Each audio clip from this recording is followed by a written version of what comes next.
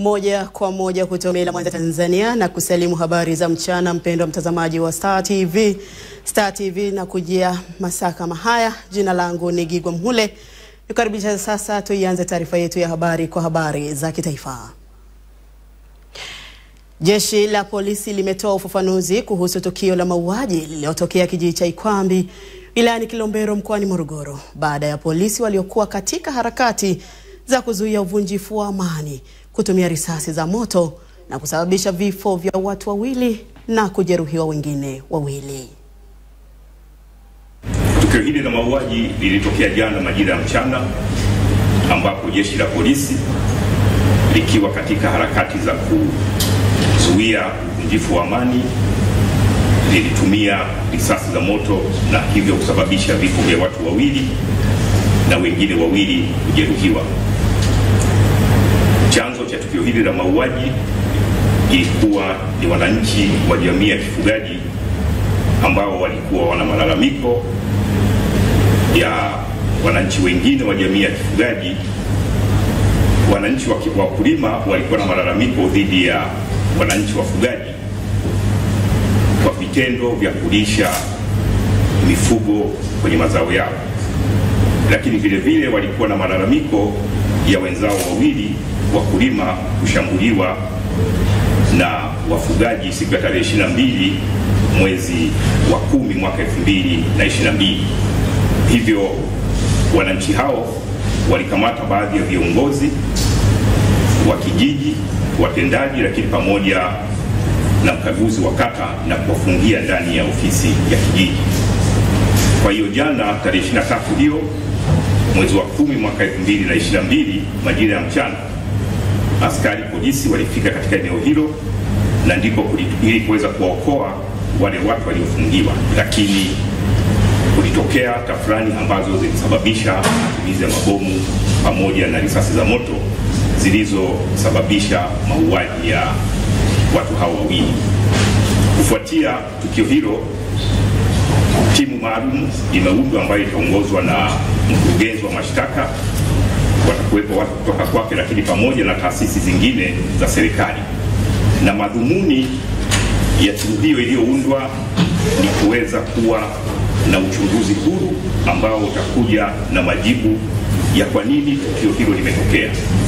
Lakini pili, kwa upande wa jeshi la polisi nimeelekeza askari wote waliohusika kwenye tukio hilo wapishe uchunguzi, wakae kando, wapishe uchunguzi ili timu hii huru iwe na nafasi nzuri na njema ya kuweza kutimiza wajibu wake na kuweza kuja na majibu na matokeo sahihi ya uchunguzi huo kwa jamii, ili Watanzania waweze kufahamu ukweli wa tukio hilo, lakini pia waweze kufahamu kama kweli zile nguvu zilizotumika zilikuwa zinaendana na vurugu yenyewe. Naam, kutoka mkoani Morogoro sasa tuelekee katika mkoa wa Mara. Chama cha walimu wilayani Serengeti mkoani Mara kimeiomba serikali kuendelea kutazama masilahi ya walimu pamoja na kuwaboreshea mazingira ya kazi. Tupate taarifa zaidi. Ni katika mkutano mkuu wa walimu wa kuwasilisha taarifa ya utendaji kazi kwa kipindi cha miaka miwili na nusu kutoka Aprili 2020 hadi Septemba 2022. Viongozi wa CWT wanawataka walimu kutimiza wajibu wao pamoja na kuiomba serikali kulipa stahiki za walimu pamoja na kuboresha mazingira ya kufundishia. Inatupasa walimu tutimize wajibu wetu ili tukiwa kipaumbele kuweza kudai haki zetu. Tunaendelea kuasa uh, wakurugenzi waajiri kulipa kwa wakati uh, likizo za mtumishi pale hela zinapokuwa zimeingia, basi wa, wa, waweze kuzipata kwa wakati, maana kuna mwingine inakuwa tena kama vile ni deni. Walimu Serengeti na naamini wanawakilisha pia walimu wa Tanzania, wana kilio chao pia ni kuhusiana na kikokotoo.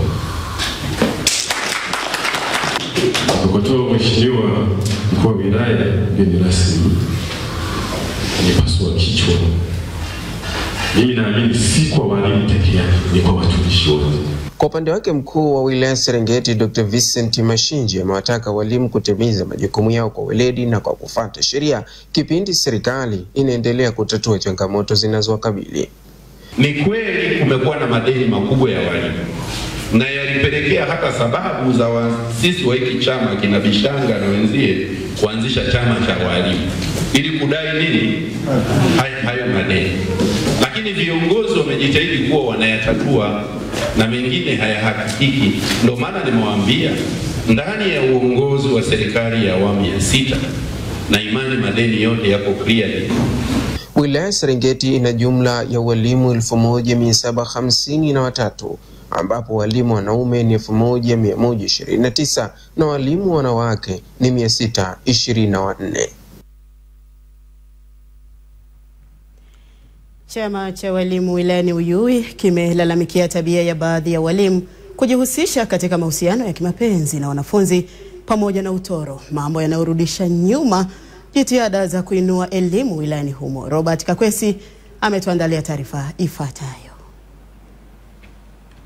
Walimu wawakilishi kutoka shule za wilaya ya Uyui katika kikao chao cha mwaka ambapo inadaiwa baadhi yao mbali na utoro wapo wachache wanaofanya mapenzi na wanafunzi. Chama cha walimu pamoja na jitihada za kukomesha tabia hiyo kinataka wengi wasihukumiwe kwa makosa ya wachache na kuiomba serikali kuangalia zaidi maslahi ya walimu.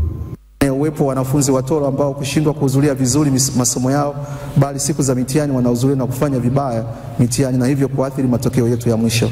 Baadhi ya walimu wachache wasio waadilifu kuendekeza vitendo visivyokubalika katika taaluma yetu, ikiwemo utoro kazini, urevi, kufanya mapenzi na wanafunzi na kadhalika. Kwa serikali iweze kuona namna ya kuongeza mishahara kwa watumishi wake au kutoa nyongeza ya mwaka ili kuweza kujikwamua zaidi. Japo mwaka huu tuliongezewa asilimia 23.3, tunaomba tuendelee kufikiriwa tena katika mwaka wa fedha ujao. Walimu wanaahidi kuwafichua wenzao wanaoharibia kwa kwenda kinyume na maadili ya taaluma yao, huku wakitoa kilio chao. Wilaya yetu ifike mahala ione namna nyingine ya kuwasaidia hawa walimu ambao wanaenda kwenye shule shikizi mathalan wawezeshwe hata usafiri wa kufika kwenye hizo shule. Tunaomba kuwepo na utaratibu wa viongozi wa chama kuongea na walimu kwa mwaka mara moja kwenye vituo vyao vya kazi ili kupunguza kupokea matatizo kwa ofisini, kumbe tungeweza kuyazuia mapema na kumshauri mwajiri. Haba wa maji au maji yasiyoridhisha, utakuta kisima kimoja ng'ombe humo humo binadamu umeona si tuwapata kunywa na kupikia. Kwa hiyo ni vizuri wanapojenga majengo ya shule, kwa sababu ni majengo makubwa, tuwe tunawekea miundombinu ya kuvuta maji, tujengewe matenki makubwa ili maji yote yale ya msimu wa mvua asipotee. Uongozi wa wilaya ya Uyui unaeleza milango ipo wazi kwa walimu kushirikiana na kusaidiana kwa lengo la kuinua elimu wilayani Uyui. Tusikae na kunung'unika na mambo kama yapo, kama kuna changamoto ambazo ziko ambayo eh, aidha mmoja mmoja ama taasisi maana kwamba yanahitaji msukumo au attention ya ofisi ya mkuu wa wilaya. Eh, ofisi yangu iko wazi, narudia tena, ofisi iko wazi. Wilaya ya Uyui ina walimu 1842 kati yao walimu 1820 ni wanachama wa chama cha walimu ambao wamepongeza jitihada za serikali za kutatua changamoto ya miundombinu ya shule. Robert Kakwesi, Star TV, Tabora. Asante Robert Kakwesi kutoka mkoani Tabora. Bado tunaiangazia sekta ya elimu. Taasisi za elimu zimeshauriwa kuanzisha somo la maadili kwa ajili ya kuandaa watoto na vijana kuichukia rushwa, hususan rushwa ya ngono ambayo inaelezwa kurudisha nyuma maendeleo ya elimu nchini. Tupate taarifa zaidi.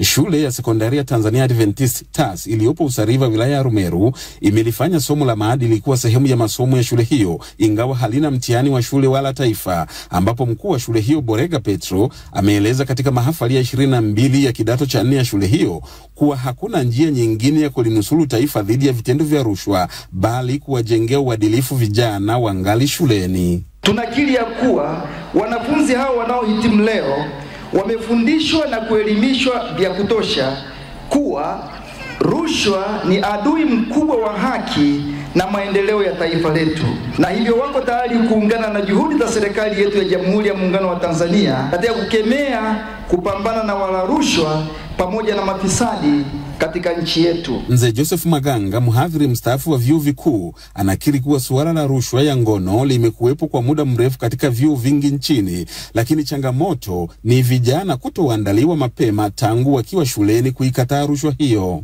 Kuna kesi ambazo zilikuwa zikijitokeza pia, mwanafunzi analalamika, anasema mwalimu ananitaka kingono ili anipe alama. Nimefundisha katika chuo kikuu, cases kadhaa tumezisikia.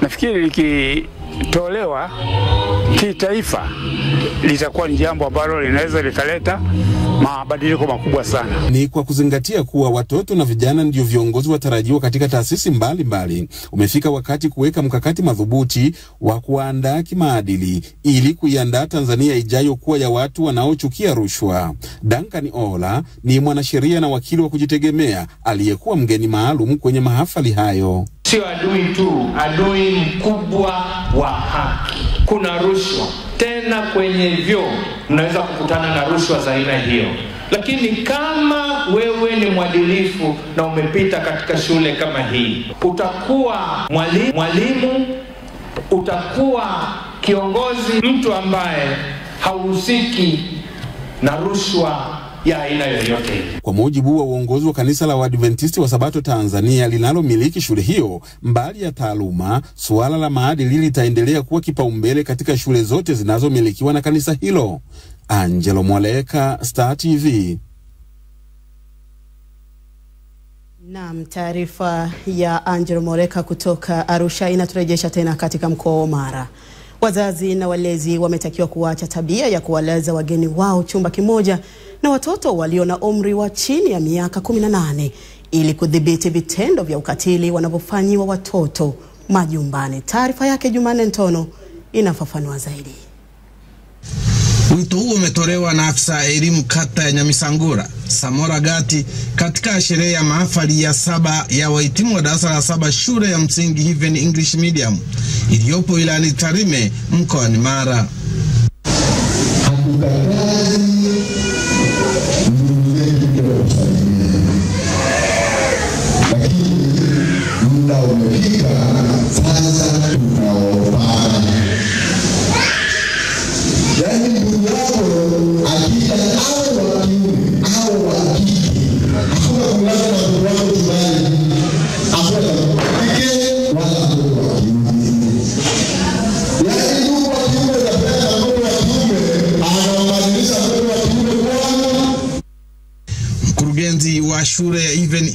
Even Mbaraka Nyangwe amewaomba wazazi kuendeleza vipaji vya watoto wao ili elimu wanayoipata iwe ni ufunguo wa maisha na sio kifungo cha maisha yao.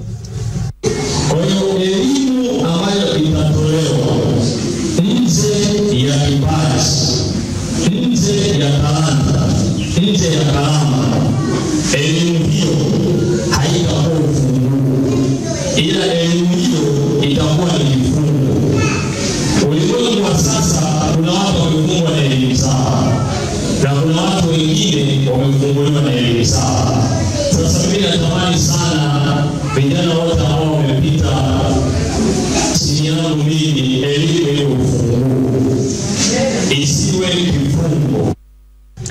Edwin Magondo kutoka ofisi ya udhibiti ubora elimu wilaya ya Tarime amewaomba wazazi kuacha tabia ya kuwaozesha watoto wa kike katika umri mdogo kwa lengo la kujipatia kipato.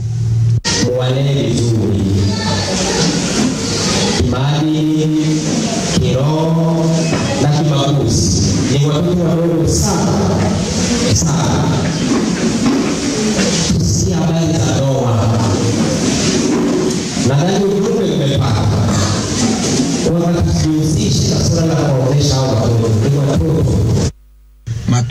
wahitimu wakisoma risala yao kwa mgeni rasmi wa mahafali hayo ya saba wamesema kwamba malezi walioyapata hapo shuleni yamewajenga na yatawasaidia kuishi mahali popote waendapo.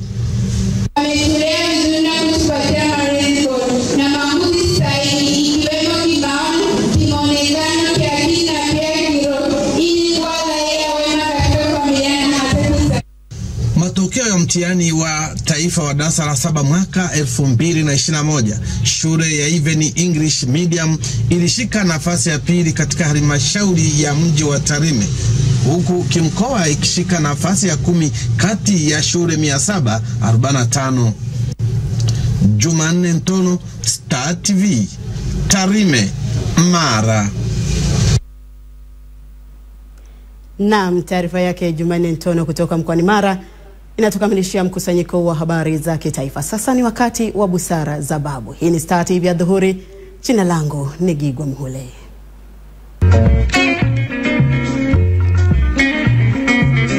Busara za babu. Mjukuu wangu, ukisikia msemo unasema msichembe wala uta si mwani, maana yake ni kwamba, sikiliza vizuri basi, mtu asiyekuwa na chembe wala utu si mpiganaji. Meelewa mjukuu wangu hapo vizuri? Ewala. wana pesa